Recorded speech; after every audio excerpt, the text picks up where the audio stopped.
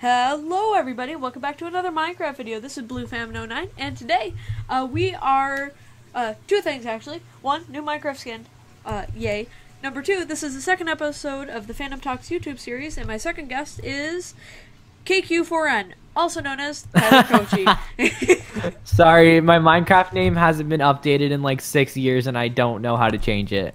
yeah, Same with the skin. yeah. Thanks for your understanding, guys. No, I I personally love the skin. I don't know why. It it's, it just gives off so such 2020 Minecraft vibes.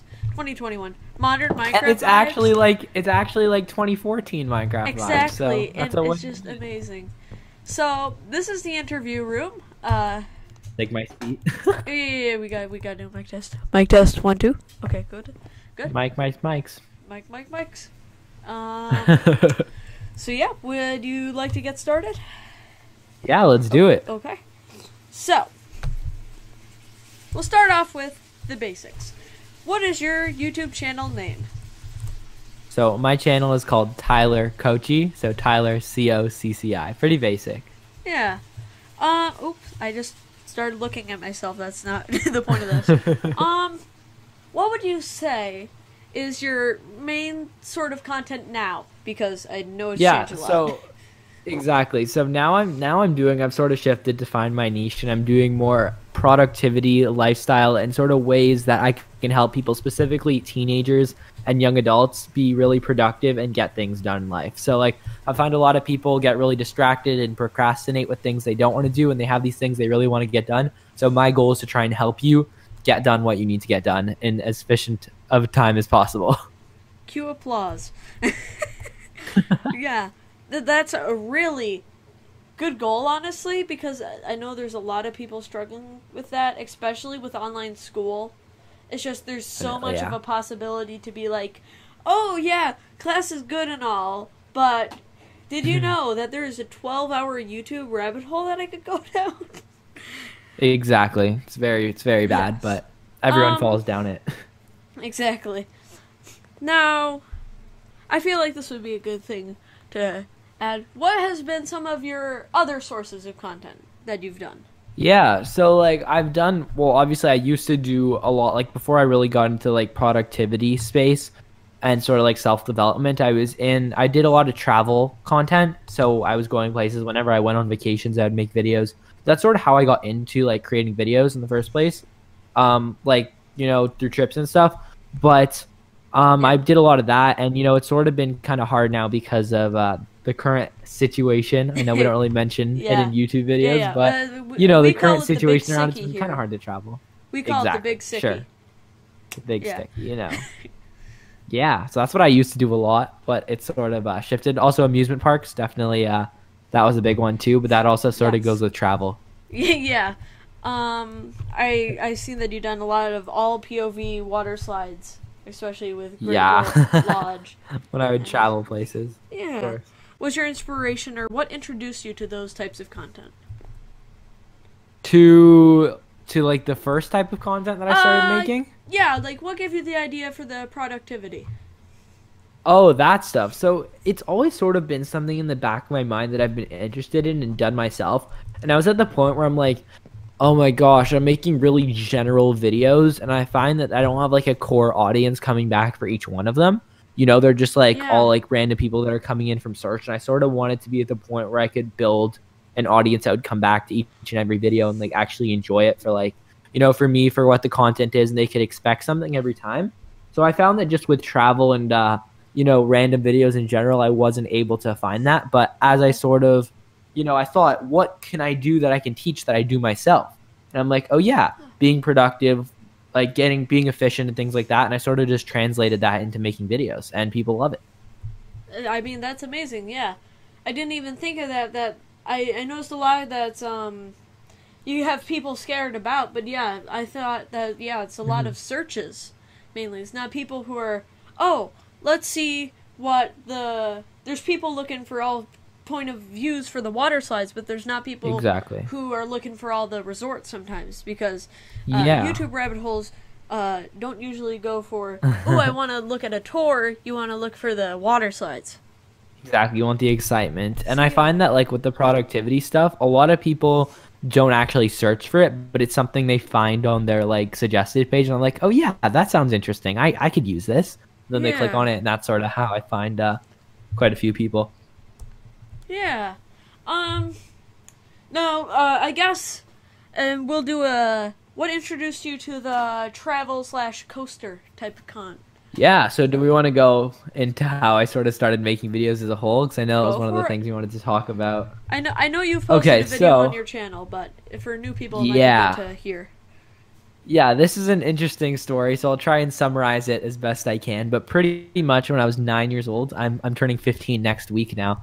So when I was nine years old, I won a well, I entered a contest and I went through this whole big thing where we had to make like an audition video for this contest. We were entering to win a free trip basically through Sunwing. It's one of the biggest like Canadian airlines. It's like the JetBlue for Canada.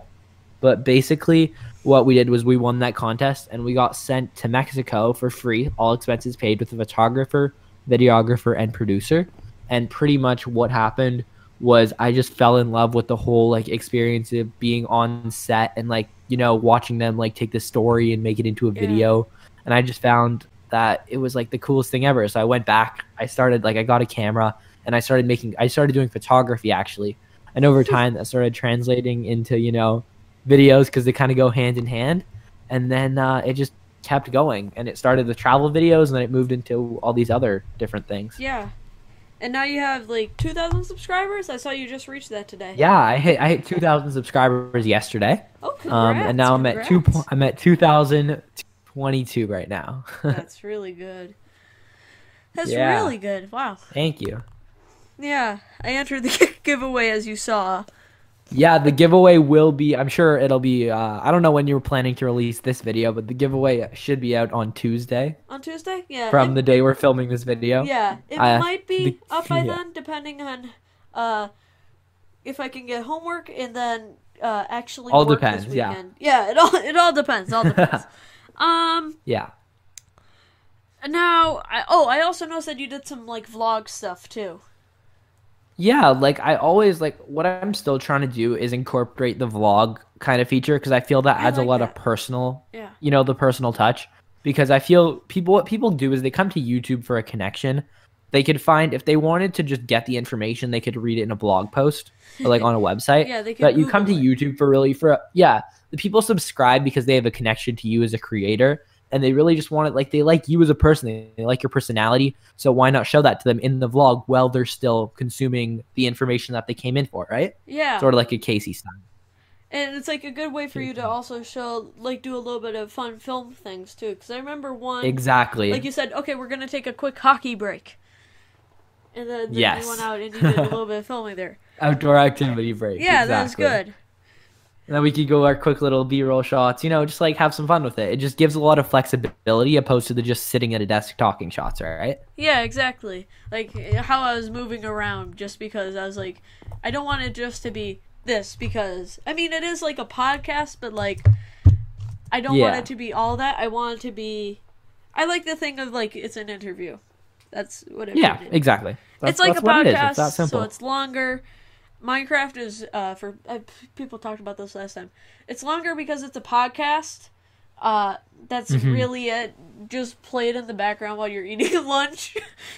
Yeah, treat this care. as a podcast, guys. yeah, you're not missing anything visually. It's room with a wall and then two QB people And then our, our microphones, and microphone our microphones on the table. on yes, an interestingly built table. Um, exactly.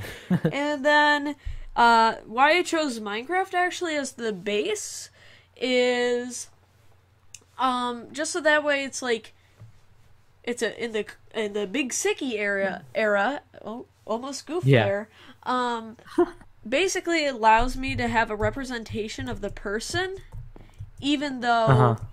we're like we can't meet We're far person we're to not. person we're- also we're, not in person. yeah, we're not in person. we're a lake away or so. And, uh, know, Exactly. Or stage two. Um, okay.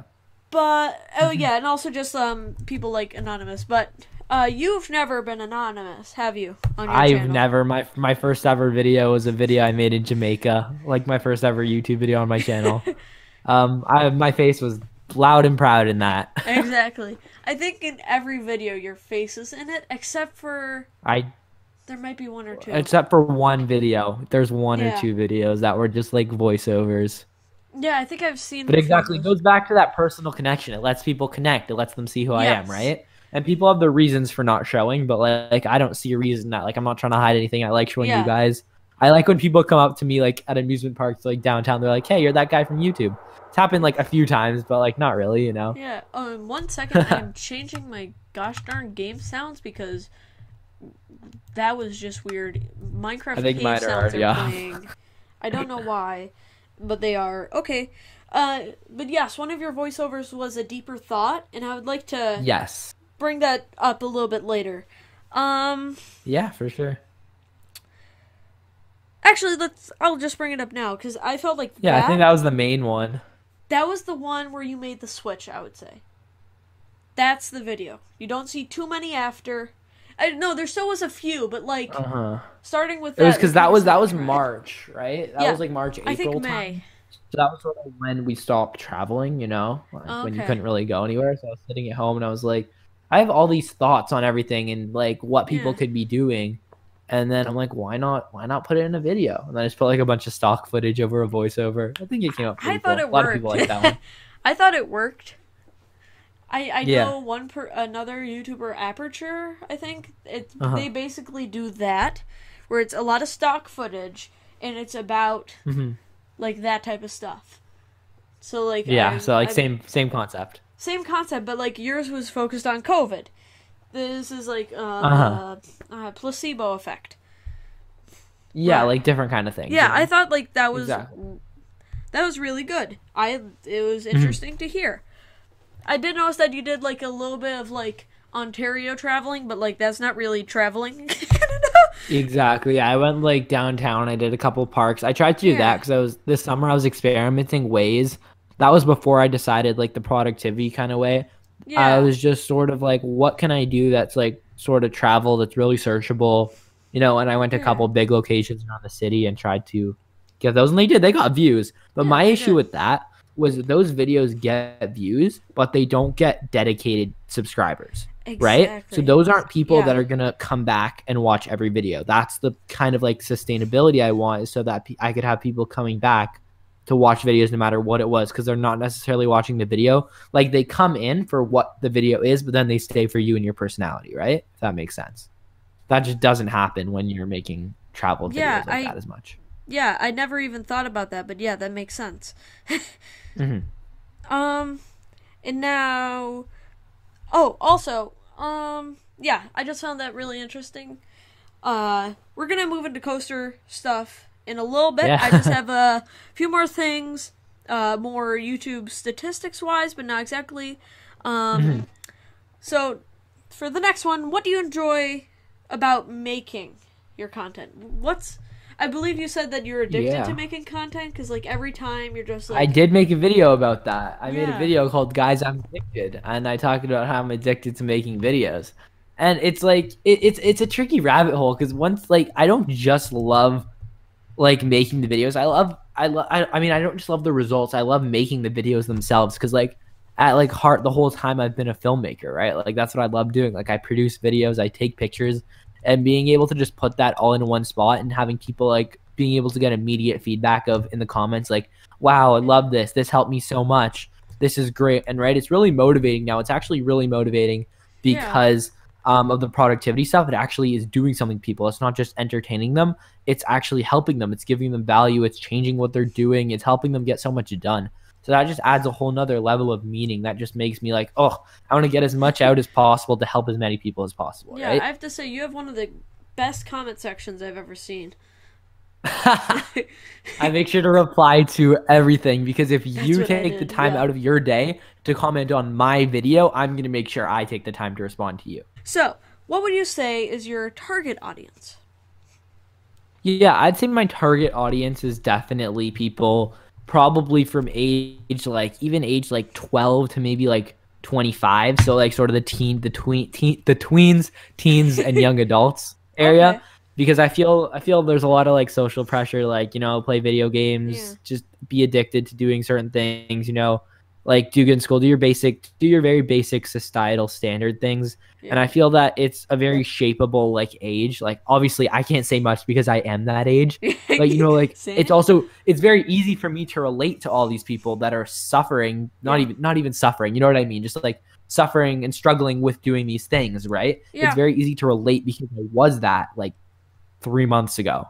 Like I was in that I was in Yeah. a, like a two month span where I was like, oh, what should I do? And that's what really motivated me. I'm like, I don't like this. I want to get things done. I want to be productive. I want to move my life ahead. I want to get things done and I want to teach others how to do it. Right? So everything I'm teaching people, I'm learning as well, right? So like I'm not going to be perfect with everything I say. I'm still learning. You're still learning. We're all learning Exactly. together. So I feel like it really builds the community as well in a way where we're all learning together, right? So that's Yeah. something I love as well. And also when you said going back to the comment section, I love like when you guys comment your techniques and like ideas that you have because I, I'm learning too, right? It's Yeah. that simple. Uh, yeah, that's that's really honorable. Honestly, I've been struggling with trying to like have that motivate, not motivation, to stay focused, to get that pro- productivity. It is, it is motivation. It's- you need to yeah. you need to have the mentality where you want to do it, right? Like if you don't want to do it, Yeah. it's much easier not to be motivated, not to care about what you're doing, just like get by, than to actually go put the extra work in and get to where you want to be, right? Yeah. Like, and I mean, I want to do good in school. Like, I want to. I mean, we're both student. Mm-hmm. We both were slash are student council presidents. at, at one point in time, one of your videos was the winning video, so that was really cool. Yeah, I did. I did I post like- my student council election Yeah, I was video. like, I have to interview you now. There we go. We have something even more in common. Common, exactly. Exactly. So yeah, I find that yeah, it, yeah, that was really good of you to say like, hey, I'm learning this for myself, but I also want to allow other people to learn, and we're all learning. Honestly, I'm writing that down right now because I sh- I'm honestly gonna make a video dedicated to talking about Yes, let's go. like just about how we're all learning together.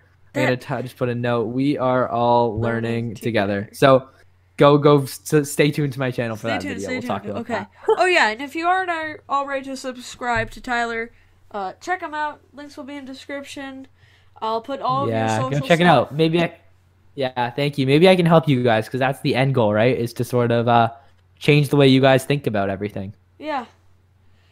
Yeah, just to like help stay productive and everything. Yeah. Exactly. It's something that's useful for everyone. Even if you don't think it right now, it will be down the road. Trust me. Yep. Oh, when you get that like that that mindset switch, you'll you'll realize. Yeah. Oh, also, um, I guess subscribe to me. I don't know. You might want to see more of these. So yeah. Exactly. Um, subscribe to the Phantom Plays. yeah. Go right down below. Hit Right- that subscribe button. Click the post notification bell. Turn I all mean- notifications on. You can do whatever you want with the notifications. Well, like I have I have all post notifications turned on, so you guys should do it too. That's Okay. called being productive. that. I mean, that is fair. That is fair. Otherwise, I wouldn't get your videos. Um. so, yeah, I've recently been subscribing to a lot more people. Uh, not just Yeah. because of the interviews, but like, it's just like, oh, Captain Sparkles, uh, like one of the ch- leading people of our childhood. If you watch Oh, yeah, Minecraft definitely. videos, I At watch. Stampy all the time. yes, I want to interview him. Um, then back to the. We had a brief intermission. Back to the questions. Um, would you call yourself a full time YouTuber? Well, I'm still I'm I'm in I'm in high school, so it's Yeah. kind of hard to say, you know, because it's like it's not like I'm taking time away from doing anything else to go to YouTube. Yeah, Because I think like when you say full time YouTuber, you're sort of describing yourself as not working another job. exactly. I mean, Right, is your main- your, your main income- company. Like like like yeah, my my main income is from YouTube, but that's like you know one of my only income streams. Eh, yeah. So a little tricky question, I guess. Um, yeah, yeah. You're it's also, it's hard for us to answer. Yeah, exactly. Um, and you're also like you you have a film production thing, which Yeah, that's that cool. that's that's its whole other thing. That's sort of shaped the way I make videos. That's why a lot of people say, "Oh my god, how do you have such a high production value?" It's because I make videos, right? yeah. I make videos mainly in uh, commercial advertising and uh, products and stuff like that. And uh, it's called Cocci Productions, so Yep. Cocciproductions.com be and on all socials. the uh, yeah. Yeah, so like that's also I'm like really interested in amusement parks. I grew my love for amusement parks through taking pictures of roller coasters all around the world. Yeah. Well, Canada and US. world. But yeah, I, I love making videos. yeah, and tell me about what would you say your biggest uh, gig is? The biggest thing that you've done. yeah, so, far. so I didn't really make a video because I was really busy working. But uh, last when was it? Last week or this week? Oh yeah, it was last weekend. Um, I filmed uh, TED Talks. So I filmed nine TED Talks for TEDx, nine. and uh, that nine we filmed nine. I was, we were shooting for nine hours straight, actually, minus lunch. Dang. But uh, it, it was an intense day of filming. It was pretty awesome. Loved it. Really cool experience, like seeing the TED Talks live because there's something I've watched for like five years. You know, Exactly. Okay, well, seeing it all I'll go down live is to- pretty sick. You have to send me the links. I when they go live, yeah. yeah, I that's They're all in post production right now. yeah. That's so cool. Honestly, that is so it was cool. awesome. Yeah. Was was that like one of Uh-huh. your dreams? I, I honestly, I never even thought about the possibility of doing it until they reached out to me. They reached out, Right? out Like it wasn't you? even something.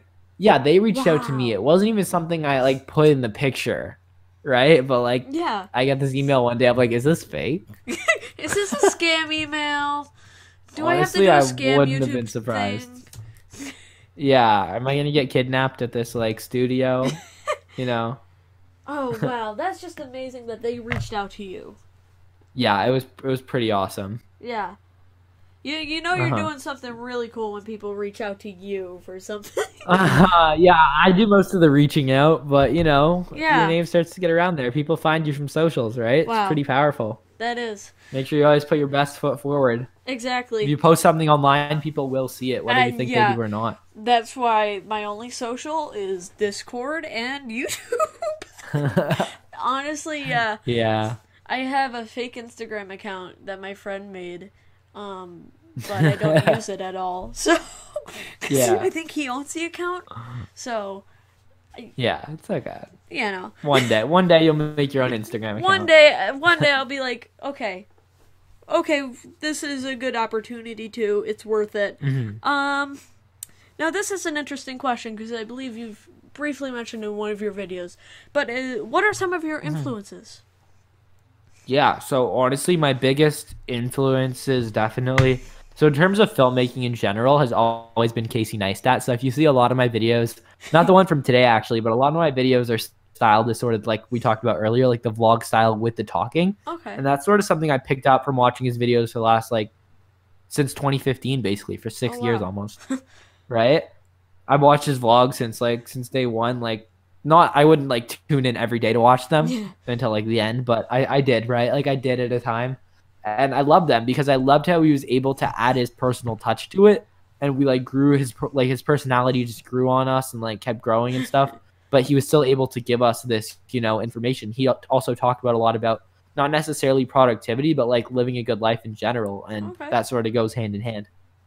Okay. Yeah. But like in terms of more the productivity space, a couple of channels are like Thomas Frank, Al- Ali Abdaal, like those guys, like the really big, you know, productivity and self growth channels. Okay. Nathaniel Drew, Gary Vaynerchuk for entrepreneurship. But like those guys, like you know, the bit the, the pretty basic big channels if you search up productivity